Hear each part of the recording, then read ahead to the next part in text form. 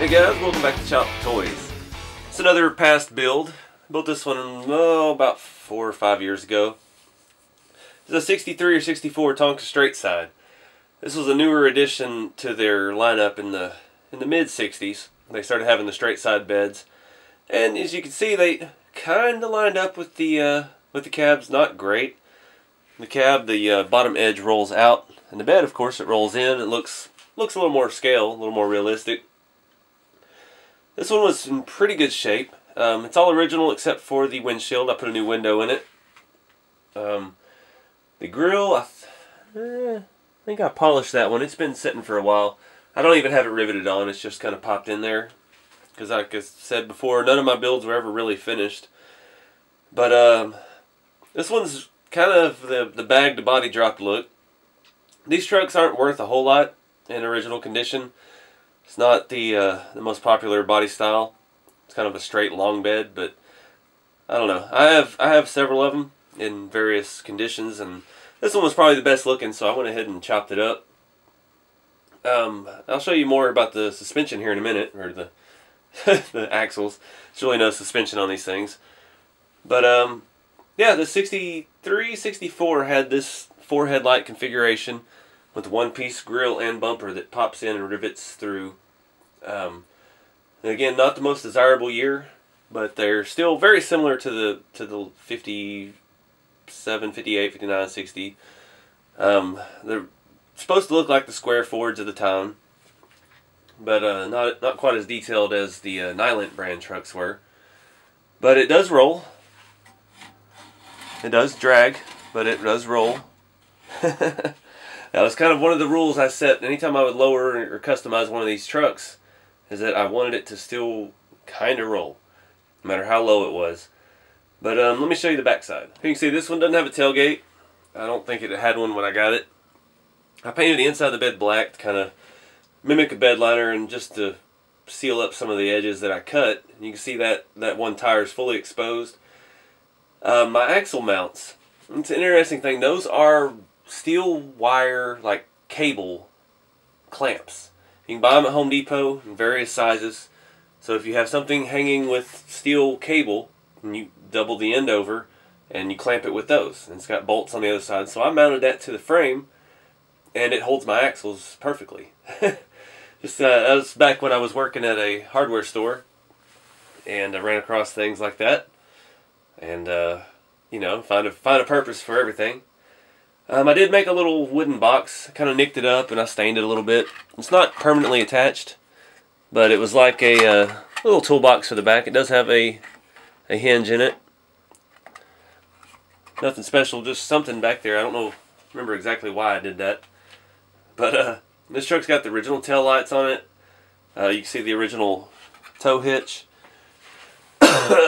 Excuse me. Now this one is lowered on Nylint wheels. Again, Nylint had a little bit smaller wheel with a scale Ford hubcap, and uh, I, I, opted for those a lot on my custom builds because they're oh, at least a quarter inch shorter than the, the standard Tonka tire. And to get a truck this low, you had to uh, had to have a smaller tire; just wouldn't work otherwise. Here you can see the underneath. Um, it looks like it's been burned. I'm not sure where that's from, but uh, yeah, those those are just basically U bolts with a shackle type bracket that clamp the wires together and I just use them to hold the axle. And you clamp it down to a, a certain tightness and the axle will still spin, tires will still spin, and everything works out great. Um, it's a little snug up here, you can see there's not much room. These trucks, the edge of the fender had a little more meat inside of it. I probably could have trimmed that back a little bit, but it does clear. It doesn't hit, even though it's very snug.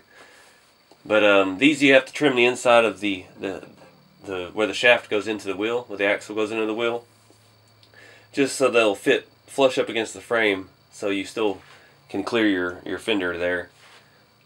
But uh, yeah, just drill some holes, bolted those down, and put the axles on. You can see I've trimmed the uh, steps off the side, even though these trucks with the square cabs didn't have a step, they still had the step made on the chassis. So it basically very similar design to the the uh, early 50s Tonka trucks. Um, it also has part of it here where the uh, there was like a step underneath the edge of the bed, which is completely unnecessary with that style bed, but it still had it because the frames were kind of generic. And on that one, I just rolled the edge of it in and left it alone. But up under the cab, I cut it off completely because the, the cab sits just a little bit lower than the than the bed does. But um, yeah, I mean it's same construction as the uh, older Tonka trucks. Nothing really exciting there. It's just a just a cool look. You see it from the front there. I don't have any rivets in there. It's just kind of uh, popped into place. I'm pretty sure I, I, had polished that one before. It's kind of got a satin satin finish to it because the uh, it probably had a lot of uh, oxidation, and I had to really polish it to get get it down. So it still looks good. It's been like I said four or five years since I I built that, and uh, it looks the part. I think those are new headlights. Um, I had a lot of reproduction parts from back in the day. Those look like uh, like newer units. But um, yeah, just thought I'd share this one with you guys. I appreciate you watching. Um, if you like the the custom truck look, and uh, you know this is kind of for you. That was always my thing. Growing up, we had bagged and body dropped and just lowered trucks. That was I was in the car club, and so that still still carry that with me. I like that that kind of thing, but uh, it's hard to do in real life just because it's expensive and you know you don't want to take a brand new truck and hack it up. you do, but you, you really can't until it's paid for at least. But anyways, uh, yep. Thank you guys for watching and checking out Chopped Toys. And uh, if you like any of that stuff in the background, check out my other channel. It's a link in the uh, at the end of the video here. That's all my RC builds, my custom rat rods and stuff. So, anyways, I'll see you guys in the next video.